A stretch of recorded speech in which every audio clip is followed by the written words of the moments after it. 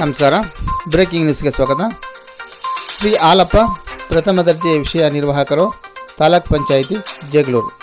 ಇವರ ಪುತ್ರರಾದ M S ಸಂತೋಷವು ಎಂ ಎನ್ ಬೇತೂರ್ ಎಂಬ ವಿದ್ಯಾರ್ಥಿ ಮೈಸೂರು ವಿಶ್ವವಿದ್ಯಾನಿಲಯದಲ್ಲಿ ಜಿಯೋಗ್ರಫಿ ಸೈನ್ಸ್ನಲ್ಲಿ ಪ್ರಥಮ ಸ್ಥಾನ ಪಡೆದು ನಾಲ್ಕು ನಾಲ್ಕು ಚಿನ್ನ ಪದಕಗಳನ್ನು ಶಾಸ್ತ್ರ ಚಿನ್ನದ ಪದಕ ಪಿ ಜಯರಾಮಯ್ಯ ಅಭಿಯಾನಗಳ ಚಿನ್ನದ ಪದಕ ಭೌಗೋಳ ವಿಜ್ಞಾನ ಚಿನ್ನದ ಪದಕ ಗೋಪಾಲ ವಿಶ್ವನಾಥ್ ಚಿನ್ನದ ಪದಕ.